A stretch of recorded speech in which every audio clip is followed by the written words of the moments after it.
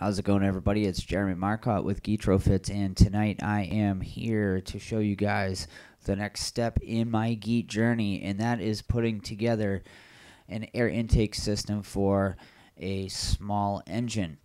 Now, the way that I did this tonight was I recorded myself putting the air intake portion together, and I also did a refresher video with the Geet reactor itself using my stubby Geet system. But I'm finding that my microphone is not picking me up, so I tried it this way. I'm hoping it works. So what we're going to do is we're going to switch over to my video here. All right, so here we go. Getting everything set up. This is the six and a half horsepower air intake that I had put together.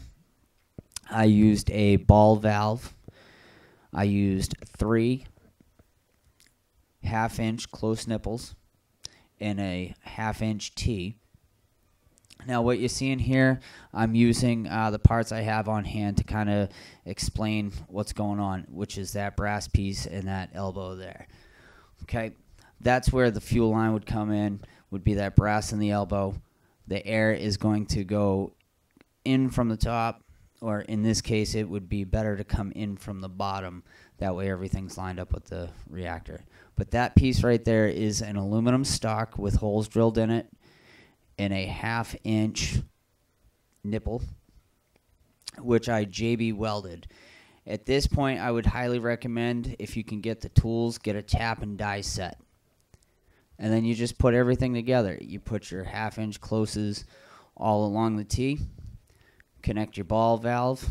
The top of the intake will connect to the reactor line, which here we go, I'll bring in the stubby. This is my stubby reactor. I'll set it up real quick for you.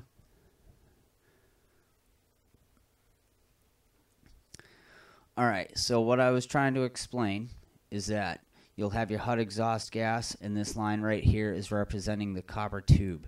So the hot exhaust gas goes down and out, while the cold fuel line comes up and feeds into the air intake system. And if you were paying attention, my air intake side was not facing the engine properly. but it's super simple, guys. And here we go. I'm going to show you the one that I have on my gen set. This piece right here that I'm showing you is a custom built flange that I had made by my buddy Ron. It is a three quarter inch black nipple welded to a piece of carbon steel. Uh, I used a three quarter inch T. That's a really good welding job right there. And then some of the scraps I had kicking around the house, which were half inch tubing. Uh, I've used a three quarter to half inch reducer with a brass elbow and a black, uh, excuse me, a brass connector piece, which says LP on it. It was the first time I'd ever seen that. But you line that up with your reactor right there. And again, bringing out the stubby so you guys see what's going on. And my representative copper tubing. So copper tubing would connect those, and that goes right in. And there's my air adjustment which I will typically tell you I've put it behind uh, the carburetor.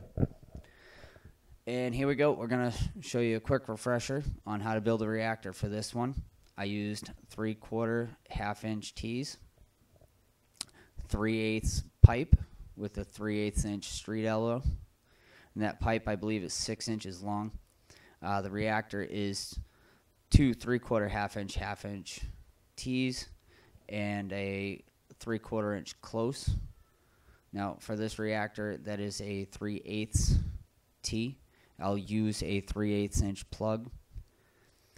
Now what I'm eh, trying to explain is you'll see I've got a couple of gaps there between that elbow and the T keeping it loose. So a couple of ways you can fix that with the larger systems is use the like for a one inch to three quarter nut. Okay. And you would use that to adjust. And I'm hoping I transitioned properly.